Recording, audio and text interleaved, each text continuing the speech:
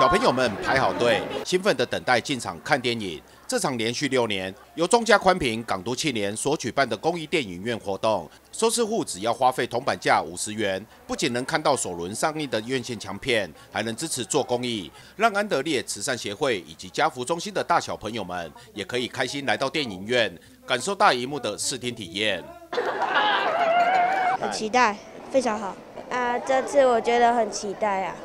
昨天晚上有没有睡不着觉？有，有睡不着就是睡不着觉，因为我很兴奋。很兴奋。中嘉宽平港都庆联投入地方公益多年，善行义举，甚获市府单位和地方民代的肯定，期许能发挥抛砖引玉的效果，鼓励更多民众和企业加入，凝聚各界爱心，将这股善与爱的循环，能有持续向前的动力。这样的活动呢，应该让他每年都能够持续的办理，特别是对弱势孩子的一个关切。如果大家都能够发挥爱心，然后让这些孩子能够感受到人间处处都有爱，人间都有温暖，对他们的未来的成长过程来说，是可以说是非常非常的一个重要的。所以我们非常的感谢这个钟家宽平，还有当然还有很多我们的收师傅愿意捐赠小小的五十块钱，你的小小的爱心，就让我们这些弱势的孩子都能够得到非常好的一个经验。我想对于这次的电影，不仅是他们可以享受。重点是大家对他们的爱心，可以支撑他们到未来长大的过程当中，都是一个非常好的一个经验。我想这些小朋友可以看电影，对他们来讲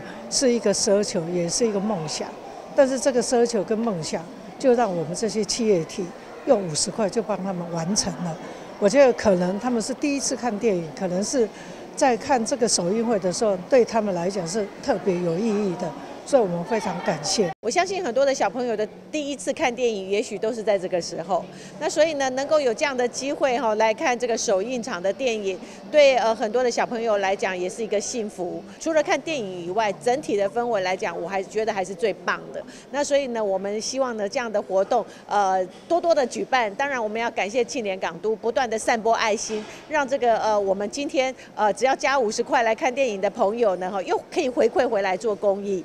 每年这时候都很开心，来跟啊所有我们的收视户用五十元来帮助啊安德烈跟啊这个家福的小朋友啊，都感谢这个青年感都，感谢中家，每年都办这么有意义的活动，让我们除了可以在家里看宽屏，还可以帮助弱势，呃，呼吁所有的收视户大家一起来做公益。特别感动，因为今天来了以后，我以为就是单纯公益活动，想不到还有一个抛砖引玉的动作，就是让大家呃可以付费五十元，然后来到现场。那这五十元也不是收入，就是不是盈利，而是邀请大家一起做公益哦。这是让雅静觉得说，除了带孩子来享受不一样，平常生活可能没办法带孩子来看的亲子。亲子生活以外，还有一个就是也让孩子知道说，哎，其实我们可以借由呃小小的一个举动，然后可以去关心更多呃需要我们关心的一些呃社会一些家庭之类的。实在很感谢我们呃中家宽屏嘛哈，那其实这个活动啊相当的好哈，因为就像比较弱势的孩子啊，他要进进电影院，其实是一个希望。哦，他希望我这辈子有机会进电影院看电影啊。那这次用铜板价哦这样来处理，让我们的用户跟我们的那个弱势的小孩可以一起来看。除了这公益以外，哈，也让我们弱势的小孩他的人生可以圆梦哈。港都把这个五十块